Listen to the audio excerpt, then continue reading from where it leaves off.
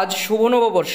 বছরের প্রথম দিন সকালে ভাগীরথী নদীতে স্নান করে জগন্নাথ দেবের চরণে পুজো দিয়ে ভোট প্রচারে বেরিয়ে পড়লেন নদিয়ার রানাঘাট লোকসভা কেন্দ্রে বিজেপির প্রার্থী জগন্নাথ সরকার।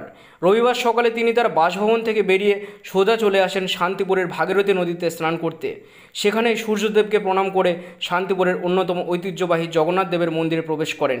এরপর সেখানে বেশ খানিকটা সময় দেবতার আরাধনা করেন তিনি, যদিও তার সাথে ছিল প্রচুর সংখ্যক বিজেপি কর্মী সমর্থক এবং নিরাপত্তাও ছিল আটোসাটো।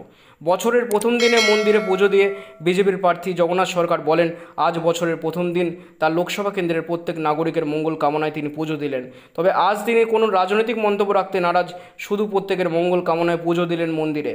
তবে বছরের প্রথম দিনে সবার সুখ সমৃদ্ধিতে ভরে উঠুক এই কামনা করছেন বিজেপির প্রার্থী জগন্নাথ সরকার।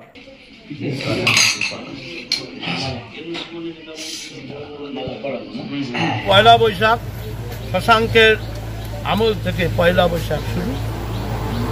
আমরা জানি এটা পবিত্র দিন, হাল পাতা, শুভ কাজ শুরু রাজ্যের দিন। আর সেই দিনে গঙ্গা স্নান করে এখানে দেবাদিদেব দেবাদিদেব ত্রিভুবনের অধীশ্বর স্বয়ং জগন্নাথ দেবের মন্দিরে তার উদ্দেশ্যে আশীর্বাদ প্রার্থনা করলাম, যাতে আমি মানুষের সেবায় লাগতে পারি, মানুষের কাজে, মানুষের পাশে রাখতে পারি। সুস্থ শরীরে সুস্থ জ্ঞানে মানুষের সেবার জন্য যা করণীয় তা যেন করার সামর্থ্য আমাকে তিনি দেন। তারপরেই আমার প্রচার অভিযান শুরু হবে।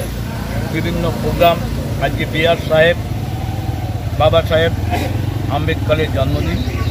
সেখানে জন্মদিনের অনুষ্ঠানে যাব, কার্যালয় উদ্বোধন করব, বাসন্তী পুজো চলছে।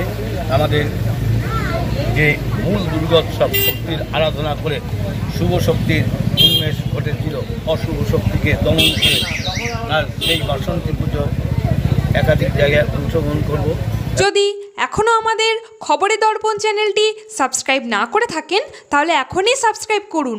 সঙ্গে বেল বাটনটি ক্লিক করুন আর পেয়ে যান সব খবরের দ্রুত ভিডিও আপডেট।